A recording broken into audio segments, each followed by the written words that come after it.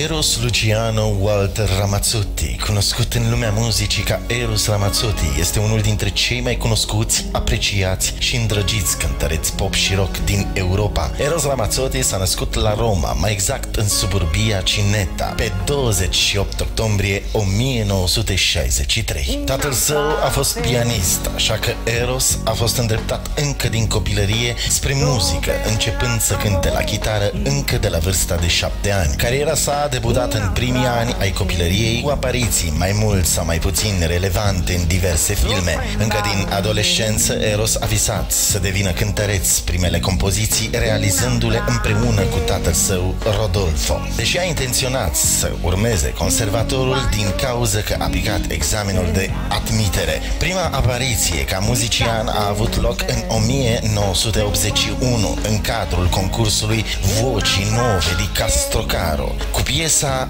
Rock 80 scrisă chiar de el. Câștigătorii concursului au fost Zucchero și Fiordaliso. Eros Ramazzotti a atras atenția noi case de discuri DDD care i-a oferit un contract. Ad un amico, primul single al lui Eros, a apărut în anul 1982 fără a avea mare succes, dar în aceeași perioadă Renato Brioschi va deveni mentorul tânărului artist și împreună au obținut primul mare succes în anul 1984, atunci când piesa Terra Promesa a câștigat secțiunea de debut a prestigiosului festival de la Sanremo. Piesa a fost difuzată în întreaga Europa.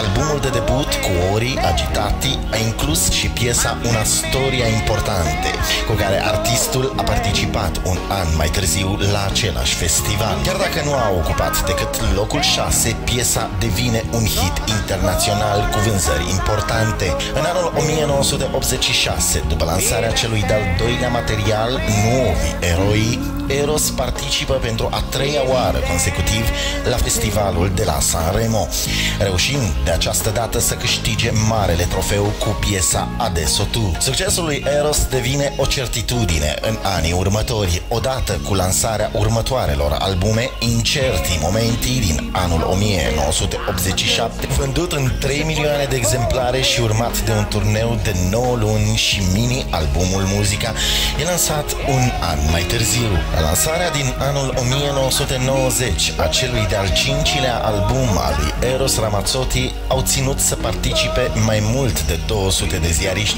din întreaga lume.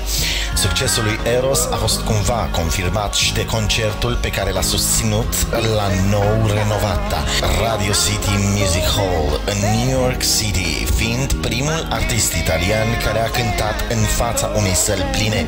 Mai târziu, Eros a fost dezamăgit să afle că majoritatea celor prezenți erau de fapt de origine italiană. În cadrul sejurului din Statele Unite ale Americii, Eros a fost invitat la show-uri TV ca Tonight Show cu Jay Leno sau Good Morning America. În anul 1991 va apărea dublul CD Eros în concert, urmat de un lung turneu în cadrul căruia cântă la Barcelona, în fața a 20.000 de fani. În perioada următoare, Eros va lansa multe albume de balade și cu piese soft, majoritatea atât în italiană cât și în spaniolă. Piesele în spaniolă i-au asigurat un imens succes și în America Latină. În anul 1993 este anul în care va apărea albumul Tute Story, urmat de un concert european și în America Latină, ocazie cu care va lansa și varianta spaniolă a materialului.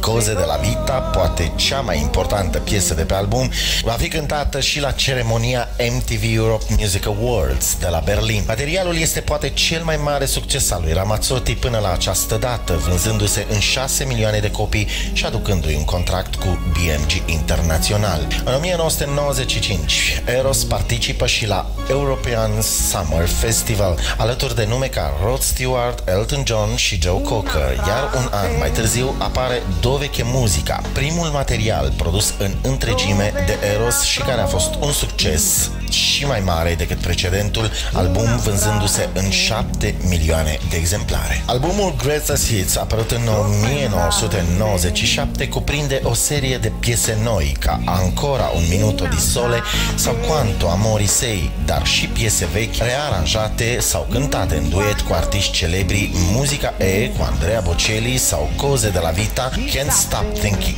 of You cu Tina Turner. În același an, Eros a câștigat premiul Best International Male Artist of the Year, oferit de Echo Music Awards. La începutul anului 2000, Eros Ramazzotti va lucra la albumul Come fa bene l'amore a lui Gianni Morandi, afirmându-se și ca producător. În același an va apărea și cel de-al optulea album personal, Stile Libero, cu un duet alături de Cher più che poi.